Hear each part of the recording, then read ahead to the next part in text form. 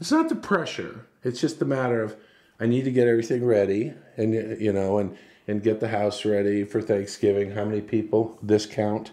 Um, recently, it might be 18 based on a few texts this What was it? from cousins What was and it? nieces. Two days ago. 11. Okay. We're going to be at 25 or 28 again. You know we are because we are always around 25 or 28 when it is all said and done. So why do you pretend it's ever going to be smaller? The Todd and Erin Daily Stream. Hi. Uh, Erin uh, realized something today. She said, "Hey, let's go shopping for Thanksgiving together. Let's go It'll shopping and doing that." You know why it doesn't work? Because I go in with a focus. I'm going like this. I'm not even looking. Yams, red potatoes, this, that, the other, sage behind me. Look at that. And then she is off going, look, sprinkles. You know, and it.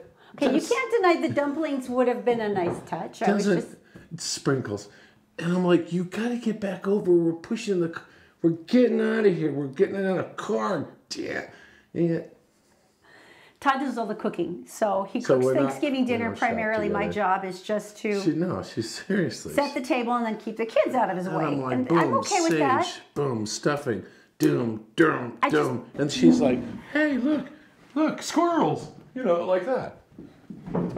Look how short you are. Um anyway the point being um there's there's some pressure there's some pressure families coming over You know, there's a certain amount of anxiety because if you got one of those families, and I think all of us are, there's going to be liberal sides, there's going to be conservative sides. Oh, that was political? And it is ever, it, it's gotten really intense recently during recent political events, and, and families have talked about the fact that they no longer spoke based on some of the the battles over Thanksgiving Okay, dinner. all right, all right, it was a thing, and so and the, like old hurts might come up, or there might be old issues or things that never got resolved, or simmering resentments. my answer to this is join together in a unifying uh, practice, and we're going to go out back in the woods and rake it. That's Okay, why we're not allowed thing to is- talk politics. The important thing is this Dr. Julie Hanks, one of our dear friends She and one of so the smart. smartest women I know, She is. has got a couple of foolproof techniques to stop fighting dead at the Thanksgiving dinner table. Because All let's be honest, the last thing you want after all of this work is to have more family Okay. members hate each other. Let's get some help. Let's make it nice. Okay. I don't think I have ever seen so much like genuine hatred between families until the political arena in the last few years. And no matter who you're voting for, and at this point, I, I don't care. And not only that, I don't want to know because it will just make it worse. I have never seen so much anger between families. I mean, genuine rage. This isn't even bringing up old hurts from the past. This is. If is you like this person, you should die. And I've got, you know, I've got the fork that was stuck in the turkey, and I'm coming for you. Mm-hmm. When did it come into this kind of like crazy rage between families, and why at the holidays? The holidays, every everyone's underslept, overfed, oversugared, right? It's like the worst. We're all like in our worst self. right? I'm buzzing and I'm tired. and st- stressed out. so it's kind of a bad combination to get people together, first of all. But the political landscape the last couple of years has been so divisive. I mean, it, it really has. And there's a book called The Righteous Mind, and he, he talks, I forget the author's name, but he talks about how we make political and religious decisions based on how we feel, and then we find facts to back up how we feel. But it's an Interesting. emotional thing. Interesting. And that's why the conversations, I think, get so heated because it's it's hitting us emotionally in our core.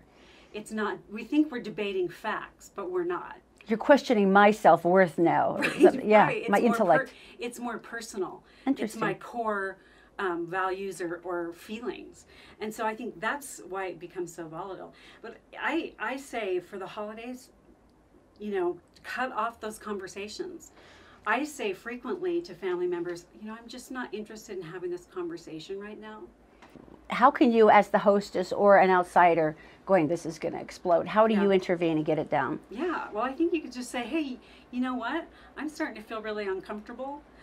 I'm concerned this is, I mean, you say that, I'm, I'm concerned this is going to get out of hand. Can we dial it back? And these are hard things to say because uh, you're actually stepping outside of the social norm and going, I'm addressing what's happening here Right. instead And of the in the pretending. room. Yeah, pretending it's fine, which Yeah. is what we always do. Right. Or we like, okay, dessert is served, right? Distraction. But, but go toward the awkward. We tend to go away from it, but if you go mm-hmm. toward it, it usually works out better. So it's it's like, oh, this is going to escalate. Go toward it. You know what? This seems like it's escalating. I'm I'm really worried that this is going to ruin our dinner. Can we, you know, tone it down? Um, so obviously, political is a big thing. It's always been there. Another one that I've always found interesting uh, that my dad, who is also in mental health, laughed at constantly is that we all instantly assume the roles that we had in the family as children. Mine was being crazy, which is probably not too surprising to you, although I am now the diplomat in the family. But uh, how, why do we automatically go, I'm going to become a five year old again? What happens to us? We're thinking adults. I know. We when we get in that dynamic, it's so powerful because that that family dynamic was what formed us. It's the most familiar thing to us. And so it makes perfect sense that we just go back to that familiar place where people play the role that everybody expects them to. And yeah, it happens with all families. Um, I think being conscious of it is really important to go, oh, I'm not crazy, you know, or I'm not the baby. Well, that still could be happening, but we're not going to, you know, I'm trying not to bring it up at Thanksgiving, but yeah. Or like, I don't have to be the peacemaker anymore, or I don't have to be the scapegoat, or I don't have to be the the baby, and you know, whatever your role is, making it explicit to yourself, just I and kind of reclaiming your adult self in that family system. Maybe it's something we could prepare for a little bit in advance. Like I said, I've had enough time and enough therapy to, go, oh, this is that was my job. That's good. Yeah. But for people who maybe don't know and they just sort of go into it mindlessly, but then they come out feeling terrible. Mm-hmm. How do you ana- how do you kind of analyze the dynamic before you get into it? Is, are there some steps that you can take that make you remember that no, you're an adult and you have value and what should you do? Yeah, well, I think just being able to name things is powerful. So, you know, ask yourself, okay, if I were to give my role a label, what would it be? The perfect child, the jock, the scapegoat, the, you know, how what would that label be? And then what would you like it to be as a grown adult? So when you go into that situation and people start treating you the way they would have treated you as a child, mm-hmm. how do you change it? How do you handle the dynamic?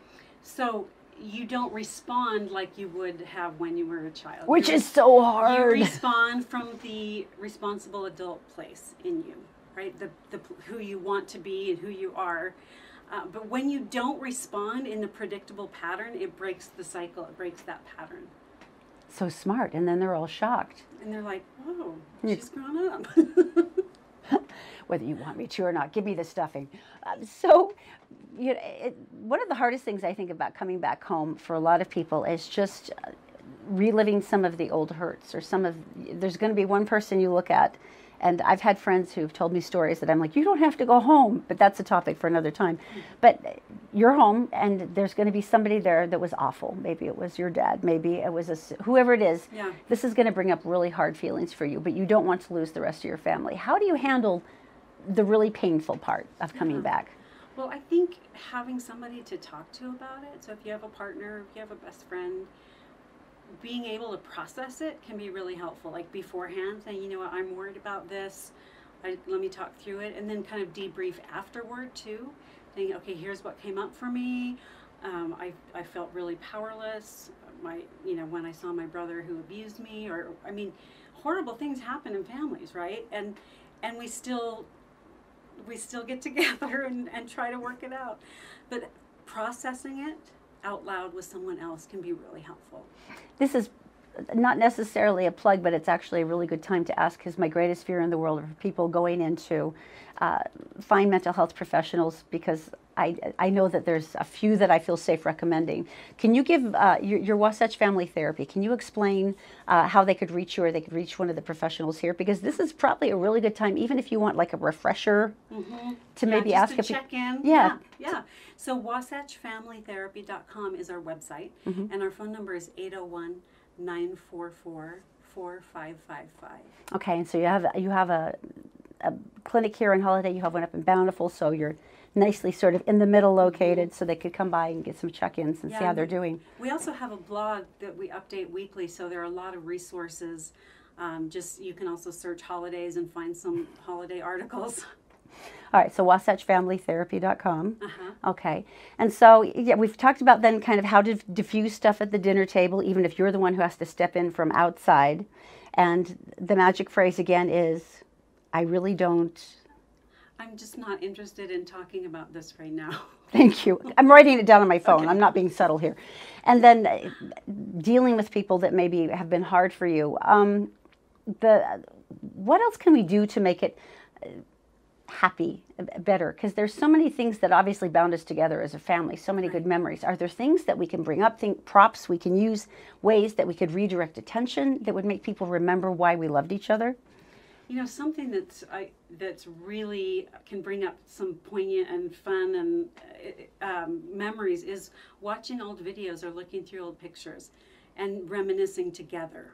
So sometimes we do that alone, like looking through a scrapbook or whatever. But but doing that as a group and talking about remember that trip we took or um, that can refresh us. Like oh, the joy. Yes, that that was so fun. we did like each other that's right Yeah, so that can be a really fun thing to do, um, or just asking you what what are your favorite favorite memories of childhood. We actually do that at birthdays when people in my family have a birthday. We go around and say what's our, what our favorite memory is of that person. Uh, but it's really a tender, sweet thing. We we do that too do that. i love that because you're right the things that people remember are so unusual and so surprising Yeah.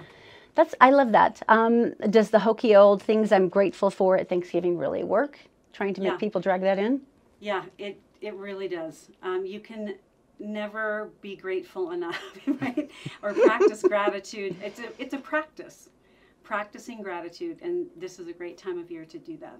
Okay, and then the one last question I wanted to ask is it goes kind of back to family roles, but um, this goes back to my childhood where the women would cook and the guys would watch football, and then the women would start washing dishes. And, you know, I would get to an age where I'm like, oh my God, Aunt Charlene, go sit down. It- you know, and I would go after the turkey basters and the big, horrible roasting pans. But is there a way to break out of some of those roles? Because I see a lot of resentment with friends of, well, I always have to be the one who cleans up, or they never do anything, and it's my group that has to do this because it's always been that way. Right. Is there a way to address that beforehand so that that resentment, those old resentments, don't keep coming back up? Yeah, that's a great question.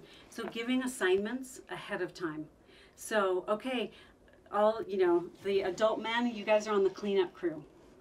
That's going to gonna do the involve some shock and consternation. right and setting boundaries and saying you know if you're not willing to do that i'm not willing to cook. So you either cook or clean up which one? And kind of negotiating um, the thing that drives me crazy is when people act like a martyr but they don't set any boundaries. So True. it's like oh poor me. It's like set some boundaries. Set some boundaries. No, I'd rather just wash dishes till two o'clock in the morning because nobody loves me. and cry. I mean, the expectation traditionally has been women do the cooking and cleaning. And hello, 2018, right? It's if you haven't already challenged that, it's time to challenge it. I love that. Okay, so assignments for everybody and mm-hmm. well beforehand so there's no true shock the day of that, oh my God, I didn't realize I'd actually have to look at a dishwasher. Yeah. I love it. That's perfect. Any final things? Any thoughts about about traveling back? Because there's a compulsion. We all do it, and it's not just duty. It's because we want to be close again. But Yeah. it's you know the the anxiety that that can really taint it. Any final advice? Yeah, whatever you're feeling, like acknowledge it and then move through it. It we have this expectation that holidays are just supposed to be all positive and they're not. They're just not sometimes. So it's okay. Um, you don't have to be depressed about the fact that it's not perfect or it's not always happy. So if if feelings come up, feel them and then move forward. The Todd and Erin Daily Stream is brought to you by PC Laptops with desktops and laptops starting as low as $7.99 with a lifetime parts and service warranty. They fix phones too. Go to PCLaptops.com. And by Brio Technologies. They rent, sell, and install audiovisual components, including professional sound, lighting, video, and intercom systems, components, projectors, interactive whiteboards, and classroom audio systems. Just go to BrioAudiovisual.com. I have the weirdest tell me something good ever. By the way, welcome back to the Todd and Erin Daily Stream. You ready for this one? Is it's it- local. It's local. Where local? Do we know? In the spirit of Thanksgiving, Okay. hundreds of animal rights activists will be oh, boy. rescuing 100 turkeys, Okay.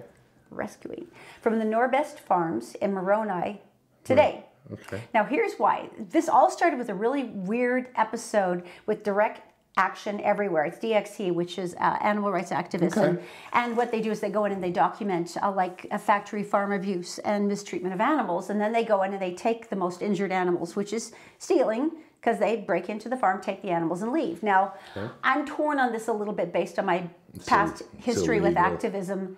Yeah, but you're saving an animal that's suffering. And if it's clearly documented, I, I would Some do it. people report that to certain agencies and agencies. Which is exactly what happened. oh, good. So there were several. So there were several activists that are now facing charges, felony charges, in Utah court based on this. Okay, all right. Here's where it gets interesting. Now, uh, Wayne Hsiung uh, Hsiung is the founder of DXA, the animal rights activist. Right, right, right. And um, Rick Pittman is the owner of the Norbest Farms uh, system here in Utah. Yeah, so both sides. Now they had contacted each other based on some of the information, and and uh, these were not the the Norbest farms under Rick's direct control, but it was one of the feeder farms that Okay. sent their their turkeys as product to his farms to Okay. be All right, all right, used. all right, now, so knowing this and having found out about it, he had already removed them from his list of suppliers, and it also stated, Okay. "I've reported you to the That's very- Agricultural Commission." It's and- very, very uh, responsible. and it's interesting because it started a dialogue between him and Wayne with the activists, Right. and they have sort of this weird, unlikely friendship now.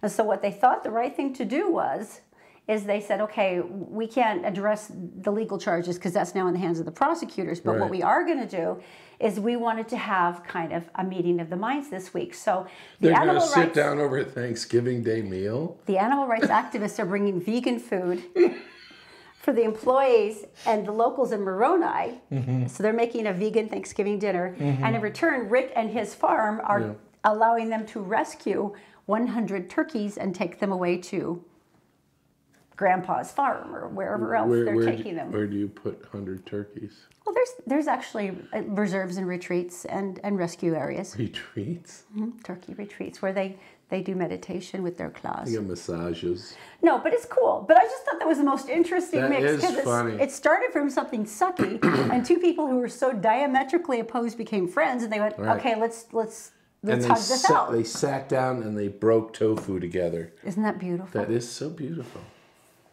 Uh, I, I will now. I just, I, I'm sorry, I thought it was adorable. I saw another group uh, in town for flat earthing. No, They had a truck, and it had like information and a website and all. And I looked it up, and they're idiots. well, it's Um, online. It must be true. So uh, I was thinking about that, and then I saw this thing about Bill Nye uh, today, and I was just like, Bill "Get Nye, the here." science guy, who's Bill so Nye, cool. the science guy. Bill. So um, um, going to the moon is he for it? Yes or no? I would assume yes, right? Going to Mars? Yes or no? I would assume yes, right? You're incorrect.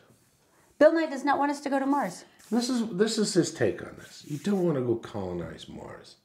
You don't want to go and live there. You don't want to raise your kids in Mars. You go from one dome to another.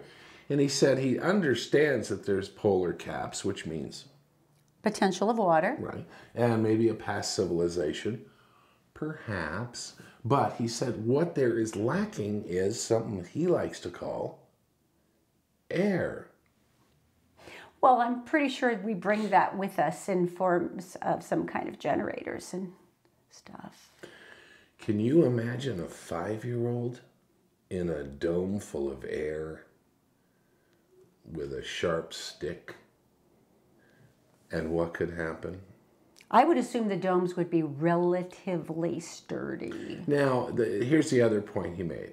And, and uh, if, if you've ever seen the Mars rover, um, I will use this pineapple as an example, as a model. Uh, this is the the lunar m- rover. Okay. And this is on a really good day. Activate rover. Is this based on solar cells? Turn the rover. Do you get the point? No. Rovers are really slow. Okay, so that what does that have to do with the dome and the oxygen and the five-year-old? Bill Nye says, send people there, send scientists there. They said astronauts, um, um, Marsonauts. Um, I just made that up. That was good. I know. Right? I know. He's going to steal it. Trademark Todd. Uh, they are going to, uh, they can do in five minutes what it takes your pumpkin robot to do in a week. It's a pineapple robot. Because he's like, "Eek." He's not going anywhere. You see that? And the guy can run over, woman run over and grab rocks, and they put them in the thing. They take sensors. They go like this and like this. Boom, boom. So he Back on the ship. He advocates research on Mars, but he does not advocate colonizing. Exactly. I still don't think his Because of that thing his thinking is reasonable, but okay. called air. Once again, I'm pretty sure they'll bring some with them. No, you can't bring that much air. And they're talking about raising families. You could do generators. And and it, and it's not. First of all, um, sex in space must be really weird, and involve a lot of Velcro. Anyway, my point being, back to that. Uh, so I'm not Bill sure you have one at this point because we've said- traveled from flat earth, earthers to pineapple rovers to Velcro. Amazing, isn't it? It all happens right up here. All right, there's one more thing we wanted to talk about today, and you are so excited about this, and this kind of goes along. Hey, stay with me. Uh, this kind of goes along with with uh, I've gone so far off the beaten path with you that I'm not even sure I can four wheel back to the, the highway of logic here, but I'm going to felt try. a little weird with the pineapple coming in, but now I'm okay with it all. Uh, there is a plan, and you were so happy about this. This is so exciting. Now, we even have a preparation board on, on Pinterest, and it's called Prepare for the Zombie Apocalypse. Because I'm going to be honest, if there's going to be an apocalypse, I want it to be a zombie apocalypse because all the rest of them seem even more depressing, if that is possible. Now, at this point, you're thinking, there's no way that the US government has even taken this seriously, but you would be wrong. You're wrong, mister. This is so exciting. Now, here, here's the deal the U.S. military is actually on the case. Uh, U.S. Strategic Command, which is the Con Plan 888 11, is a detailed plan for counter zombie dominance. It was prepared by a group of junior officers. Now, it came to the public attention at a couple of Junior. Days ago, and it's festooned with disclaimers saying, you know, that it's based on a fictitious scenario. However, they say undead hordes shambling through the streets would be treated the way one would any other invader. Since they can't be deterred or bargained with, they must be destroyed immediately. So they believe that uh, because the zombie forces will become stronger with each human casualty, because each human casualty becomes a zombie, it's important to create hardened, protected sites and guard critical infrastructure. So what they are unfortunately believing is number one, the zombies are drawn to the human populace, and number two, that they can't swim, which I think is unwise because we also learned from World War Z that they can swim. But let's just move on from that. But what they're saying is, is that they would they had a plan where once that you're a civilian and you're taken by military, you're not allowed to go back for loved ones. They say by then they'll be infected. It's too late. Screw you. Now here's the other problem. They're also advocating nuclear weapons. They say that um, what they would plan to do is utilize the nuclear weapons to destroy the large concentration of zombies, and then of course then just go hunt down with Poison the reconnaissance the, rest. So. The interesting thing, though, is that they, Junior officers. they they documented the advisory based on the popular culture references, which I thought was kind of cool. Documented. And they said right now, they said their plan was to build enough of a food storage for the refugee centers and, and the military to last for 40 days because they said by then most of the zombies will have died from decay or lack of food, which is we've Which also they found know. out. Which they absolutely know is fact. Because my daughter plays Minecraft. But wait, there's a sub clause. Are you ready for this? No. Now, this is actually written in the reconnaissance documents. They say, of course, there is a risk the invaders will turn out to be evil magic zombies or EMZs, in which case there is little that a conventional military force can achieve. They said the Chaplain Corps may be the only viable means of combating EMZs, adding ominously, atheists could be particularly vulnerable to EMZ threats. Now, here's the most inspiring part of the entire thing because they go through the entire military document, all of the things that they would do, and at the end, they end up with the cheerful uh, concept. They say the last survivors. Uh, who last 100 days um, will be able to take advantage of, the, of what is left of the Earth's resources. They say, however, that your chances of beating the zombies is 0.0088. And you made fun of my pineapple? This is an official military document. EMZ. Written on a lunch bag.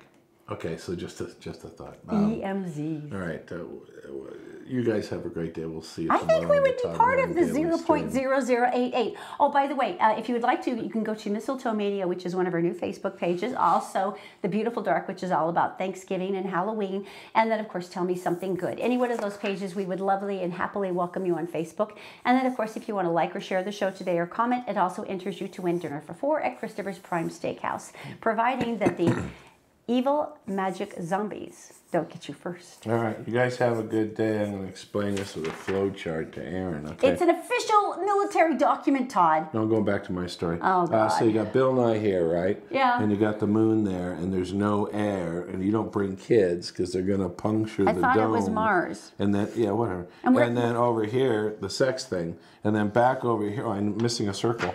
Uh, back over here, the Velcro. What about the And flat earthers? Oh, for, oh, flat earthers, they'd fit in right about here. Really? And then you go. And you're questioning my evil magic zombies. You can't fight with science. Bill Nye the Science Guy.